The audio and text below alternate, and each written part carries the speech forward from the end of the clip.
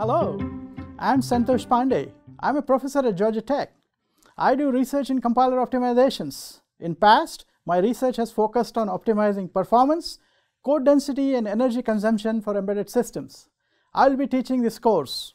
There's a saying in engineering, you can have it fast, cheap or good. Pick two. As you all know, this means there are always trade-offs and compromises made in one area to achieve goals in another area. For example, if we go for performance, we have to give up on energy. If we do complex chip design, costs could go up. The real question is, what are the right design choices for implementing these trade-offs in embedded domains? The three key goals of embedded systems are low power, high performance, and low costs. Embedded systems are ubiquitous and unique in terms of their performance, energy, and real-time requirements. The hardware and software are very tightly coupled.